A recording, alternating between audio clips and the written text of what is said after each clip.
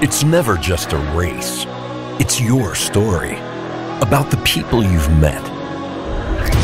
Good rivals, great champions, and even greater lessons.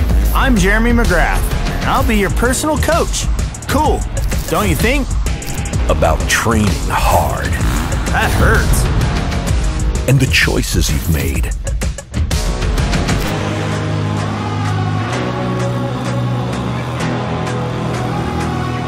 Rev that engine. That's what I'm talking about. This story is written in dirt. But man, you were meant to shine.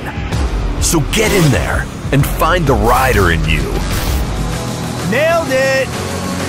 Ready? Oh, yeah.